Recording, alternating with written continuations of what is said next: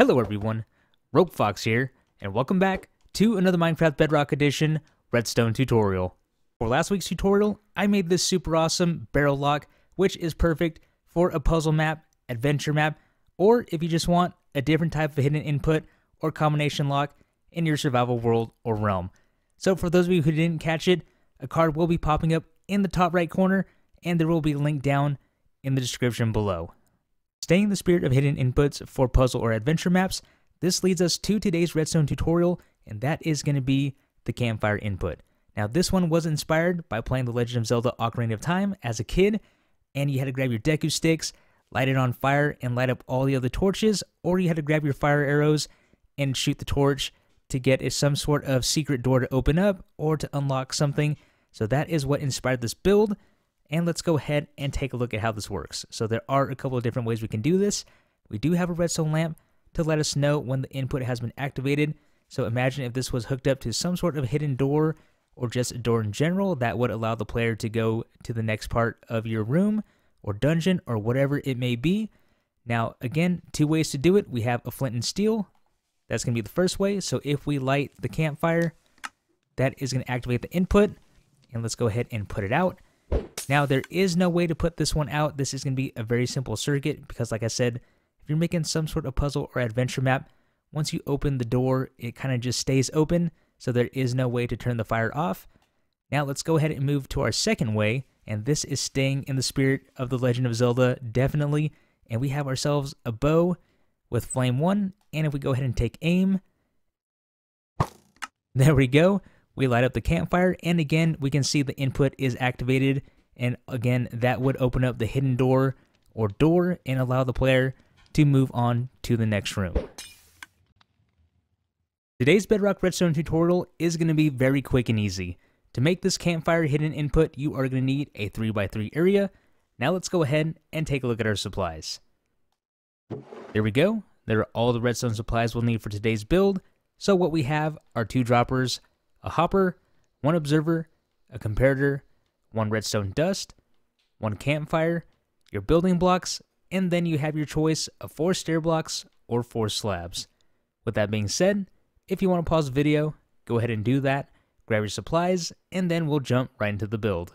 To get things started, what we're going to do is make ourselves a T flip-flop. And to do that, let's go ahead and grab our droppers, and right here front and center, let's place a dropper facing up, turn ourselves around, and then crouch place a dropper on top of that dropper there, facing towards us, or if we're looking at it from the front of the build, it is pointing towards the back of the build. Now go ahead and grab your hopper, crouch place that hopper into the bottom dropper, and if we take a look, you'll see that hopper is running in to the bottom dropper like that.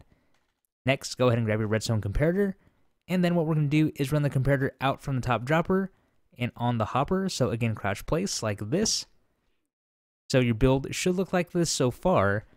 And then what we're going to do is run that comparator into a block like that. For the demonstration, I'll go ahead and place a redstone lamp, but this is where the output would go from the T flip-flop. So what you would need to do is have a block here with a repeater going out to whatever you wanted to open up. So your hidden door or just a door or whatever you like, that is where that would come out. And then I forgot to add this to the redstone list, but we do want a junk item inside the bottom dropper, so let's go ahead and place one building block inside. There we go. And then to finish up this T flip-flop, all we're going to do is place redstone dust on top. And there we go, we have ourselves a T flip-flop.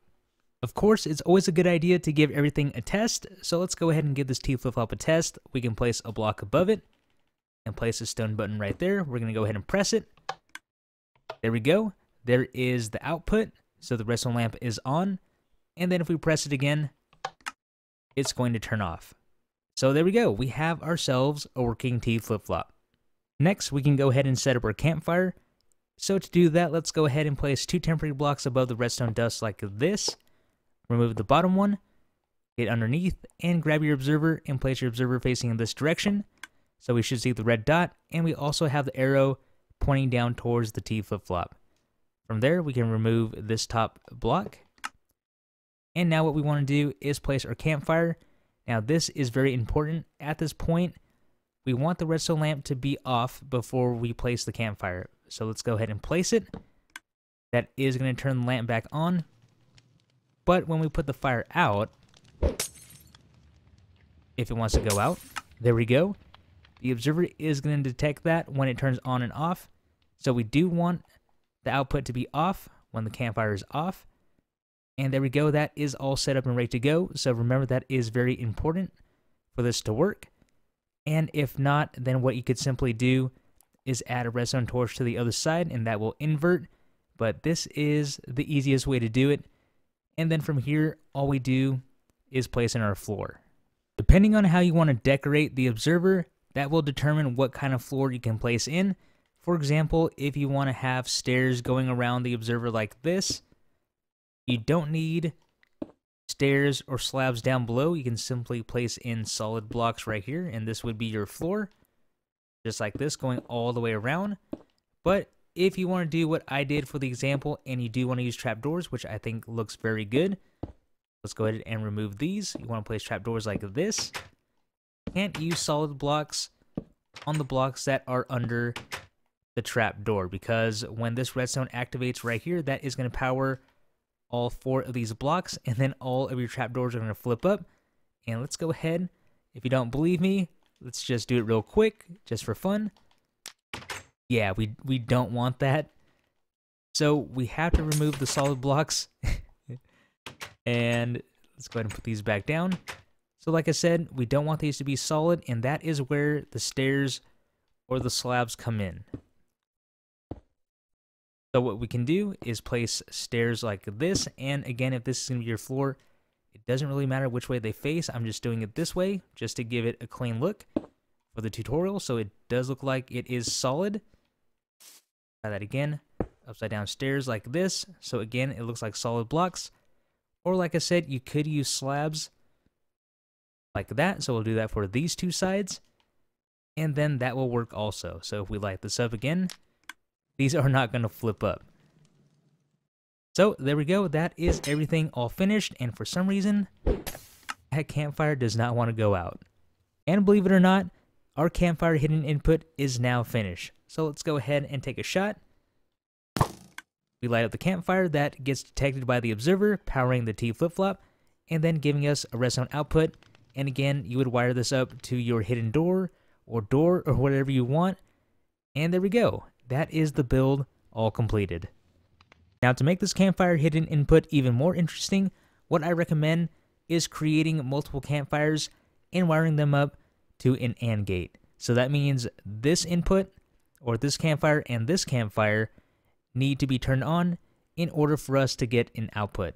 So to make the AND gate, what we're going to do is have our setup that we've already done and then all we do to this side, instead of having redstone lamps, we place redstone torches. So we have one here, one here. This is powering the redstone dust, which is inverting this redstone torch and keeping the lamp or the output off. Now let's go ahead and take a shot. Now this comparator is powering the block, which is going to invert this redstone torch. And again, this is an AND gate, so both of these need to be inverted in order for this redstone to turn off because of this one is still powering that redstone dust, so let's go ahead and take a shot at this one. And there we go, that is how this works.